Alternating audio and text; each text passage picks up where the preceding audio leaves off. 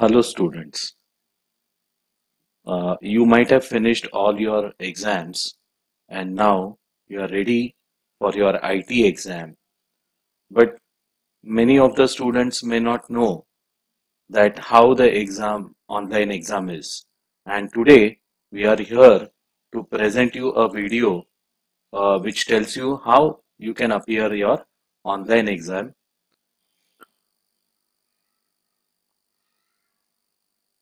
some instructions which I would like to tell you. Either you are a commerce student, science students, or an art student. The online exam is for 80 marks. It does not contain paper or pen based examination because maybe your college has conducted a written examination till now. Maybe the unit test, maybe the semester, maybe prelim exam also. And they have given you only one paper. But student this exam is totally different. You need a pc for this exam. You need internet. And you have to go to your college which is the center for your examination. You will be provided a batch wise timetable by the college. Now let us see one by one each point. Here, students take care that till today you might have appeared only one single paper. But for you, when you appear online exam, though you are sitting next to each other, your papers are not same. Even the questions which are on the paper are not same. The papers are generated randomly and you have to answer all those questions which appear on your paper. Now, what is a pattern, how you are going to study for this 80 marks paper? Let's see the next slide.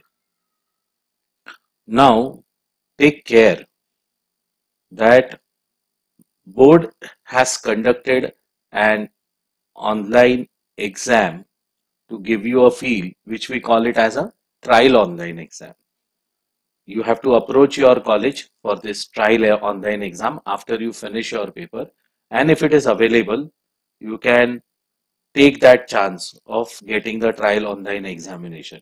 If it is not available don't worry.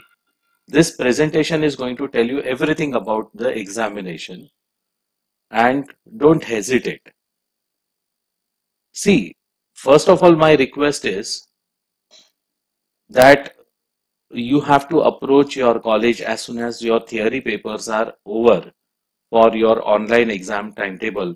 Because in a board's timetable the exam is shown for three days. And out of that one day one session will be allotted to you. And this information college has. Don't forget to see your actual exam timetable put on the notice board of your college tell even your friends to see the timetable. You have to check your batch timings. You have to check the session, either it is a morning session or it is an afternoon session. Please don't ask or assign your duties to your friend or third person to see the timetable because every year the board receives a complaint that the student has missed the examination because of his friend has not taken care to see the timetable. He has, in a fluke or in a musti, he might have told him that the timetable he has seen, which is a not correct date or not a correct time, and the students cannot appear the examination. The rules which are there for theory examinations are applicable for online examination also. So don't get confused. Your college is the only center for your examination. Maybe some other students think that they have to appear this online examination where they have given their written examination. It is not so. You are supposed to come down to your college for the online exam. Don't get confused. Don't get confused by other students also, those who advise you to go to the center where you have given your theory exam. You have to come down to your college and your exam will be conducted only in your college. Now let's see how does when you start your exam, how does online screen look like? Now here we have shown you a sample screen. The colors may differ when you start your exam because this presentation is made earlier and now it is released. So we have taken a background color different. The board may have a background color different or some color display. This is a starting splash screen. Thereafter, when you start your exam client, it gives you the version. This is a version of your software. The colors may change here. As soon as the login screen appears on your screen, you have to check the index number of your college and the date of examination. You are supposed to enter the stream, seat number and stream on your own. If you are a science student, you select science. If you are an art student, you select art. If you are a commerce student, you select commerce. Then there is an invigilator password which your supervisor will come to your desk, will verify your hall ticket, will verify you and put his password over here to start the login. Once your login is successful, you will get this prompt and you will be shown this instruction set you can go through this instruction state before your exam. Now students, you have to remain present at your center before one hour of your examination. Why I am telling you? Because if your examination starts at 11 o'clock, the login process for this examination starts at 10.30. So if you come to your college one hour before examination, they will take you in the lab half an hour before the exam starts. And at 10.30, the login process for the examination starts. And when the 11 o'clock is there, you can click on the start examination button. Now let's take care. You have a reading space time as you have it for the theory paper you will not be having access to the paper directly. When exactly 11 o'clock time the paper starts. But as soon as the paper starts, don't start solving the exam paper immediately. Please take care that you go through all questions tabs which are here. Now I'll show you how the tabs are. This is your question paper. Look. Here, question 1 tab right now is activated. Question 2 you can go and there is a scroll bar over here. This is a scroll bar. You have to scroll this bar, go down on this page and you have to look for a submit button on this page. See, you have to go on your screen, go to the scroll bar, drag the scroll bar and you have to check whether the submit button is present on your page or not at the end of the page. You have to do this activity using all these tabs which are available. Now, there are two ways your paper can be navigated. If you click here also the navigation starts and if you click here also the navigation start. Usually we will we will advise you that use the upper tabs which are here to navigate on your question. Now let me give you information about the screen. This shows you your current time. This is the watch which tells you how much time is remaining over here. This is going to be your paper ID. This IC status, it shows connected, but sometimes it may happen that it is disconnected. Don't be afraid. Call your supervisor. He will do the needful job for you. And it will be automatically again connected and even this status does not show you. Don't get worried because many of the students get worried. Here your seat number is there. Here your subject code is there. You have to check all these things. If anything goes differently over here, you have to call your examiner. Now, this is a question tab which you are supposed to use to navigate. Don't use these tabs which are here to navigate. Now there is a finish exam button which you are not supposed to click unless you finish your exam. You want to go out. The legends which are red tells you that you have not solved any question till now. Students, let's go back. See, once you use the scroll bar, you see the submit button, you even see whether the paper is properly, the questions are properly visible or not. Because if you start your paper immediately and later on you realized that the question is not visible, then there could be a trouble for you. So I tell you that at the beginning only, when you start your paper, go through all the tab, check the visibility of the question, check the visibility of the submit button. If everything is okay, then you start your paper. Now, here I would like to tell you certain things. In a fill in the blank question, if you are a science student and there is a question on JavaScript and it requires a name of an event, you have to take care about the capital small cases in the answer. Don't give unnecessary space in the answer where the space is not permitted. Don't use any other symbol into the fill in the blank question. Many of the students have the habit of putting full stop at the end of the answer. Or even to show the space they put a full stop. Don't use such symbols in your answer. Take care if the answer is case sensitive, write it case sensitive. If it is a tag, you have to start the tag name with the less than and greater than sign as you use it for a delimiter for the tag.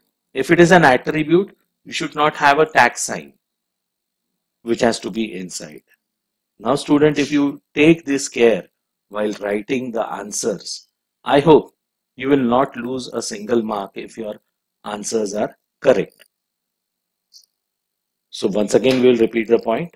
While writing the fill in the blank questions, no unnecessary space, no unnecessary symbols, if the answers are capital small and it is a case sensitive, you are going to write the answers which are case sensitive and as in the order they are.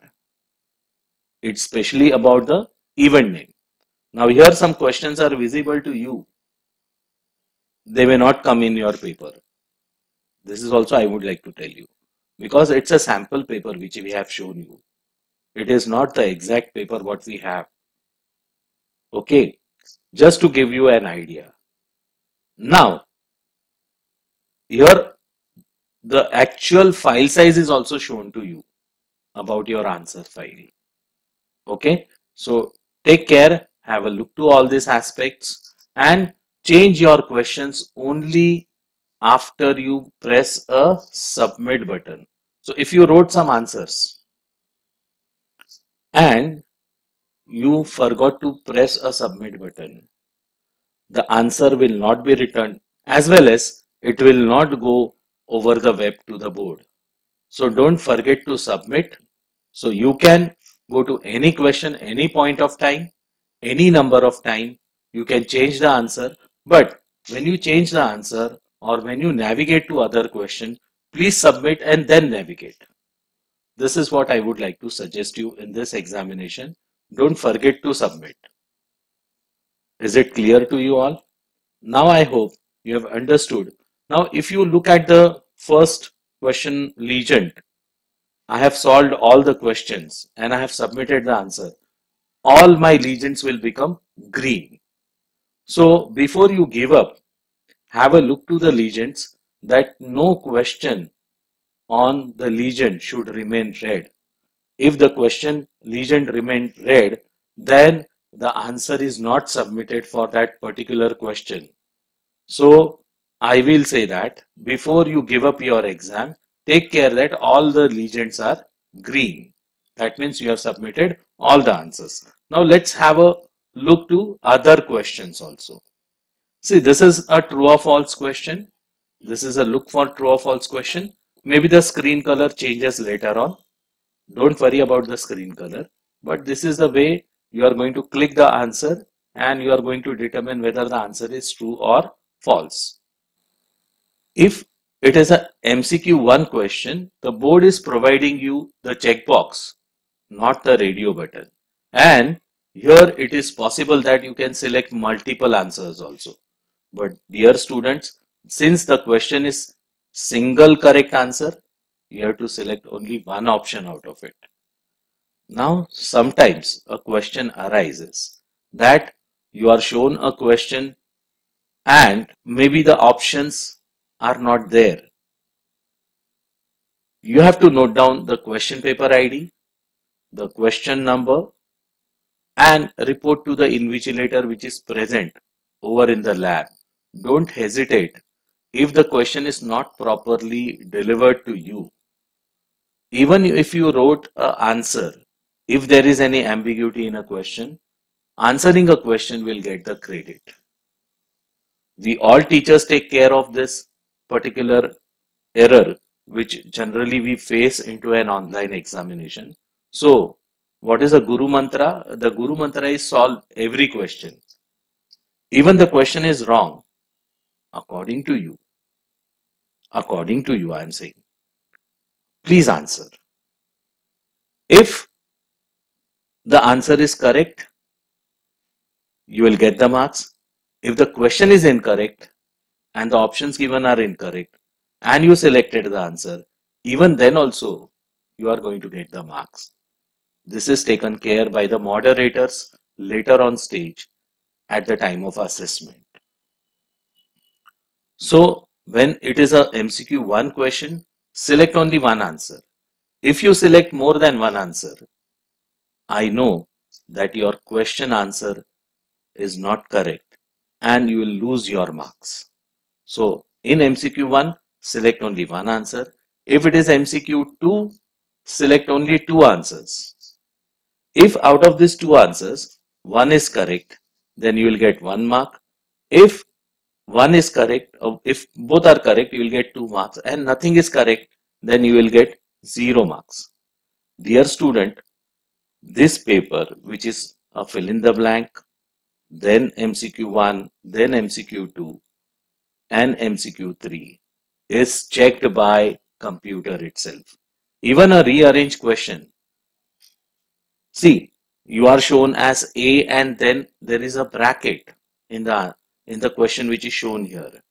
Don't write the bracket because in example over here, it is shown that you are supposed to write only the alphabets in a correct sequence. Suppose my B is the first answer, then I will write capital B over here.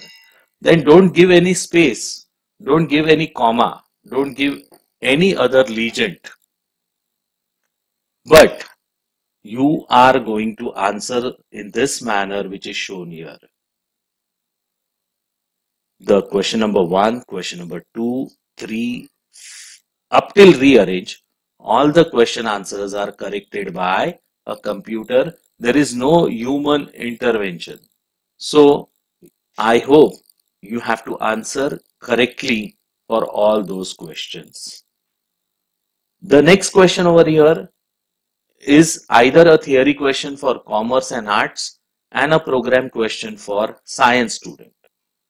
So you will be shown a question over here in this space and there is a multi-line text box. We call it as a text area wherein you can write n number of lines. That means you can write a paragraph, pages, anything over here.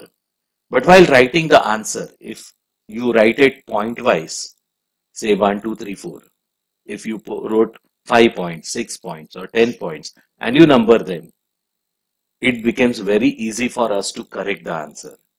As well as I will tell you that if you feel you can later on answer this question. Take a space of time to think. Every step you write, you are going to get the marks. Every point you write, you are going to get the marks. And if it is a program question, you don't have a facility to go out of the screen. Dear student, the board has taken care that if you are pressing a key which is other than allowed keys into your examination, your screen will be locked and the invigilator will be called to start your examination. It could be an attempt to copy. So take care when you write such a program, don't try to manipulate.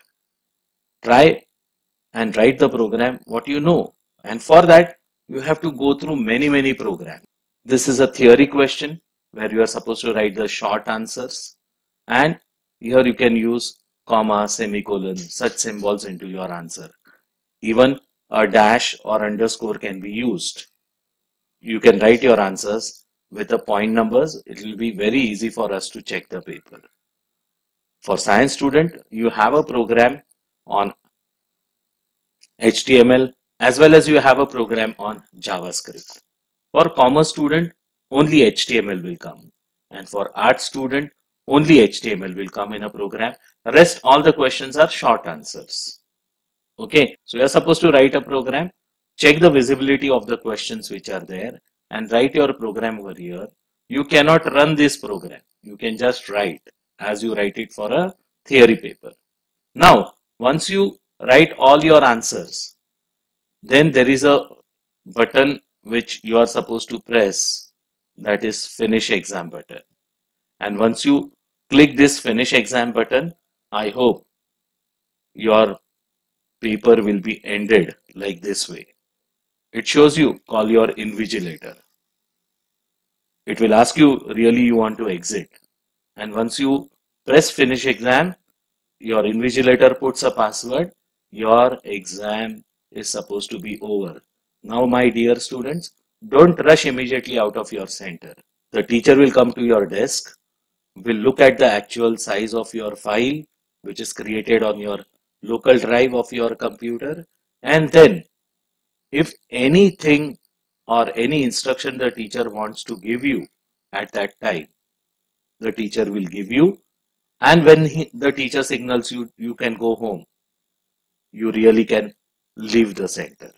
So take care talk to your teacher about this, see the size of your file, and then leave the examination hall only when the teacher tells you. Thank you very much.